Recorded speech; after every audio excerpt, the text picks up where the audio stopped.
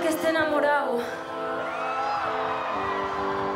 Esta noche le dedico esta canción.